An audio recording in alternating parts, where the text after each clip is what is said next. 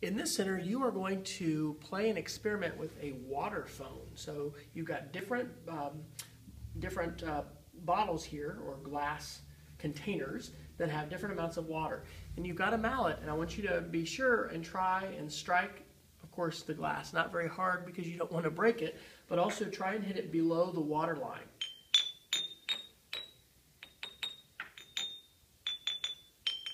I want you to experiment with this, and the word I want you to focus on is pitch, because these have different pitches. And so I want you to use AudioBoo, and I want you to make a recording. You can play a short little song or a little rhythm that you create with your water phone, and then I want you to talk about in your AudioBoo, what do you notice about the pitch as it relates to the amount of water that's in the water phone? All right, have fun.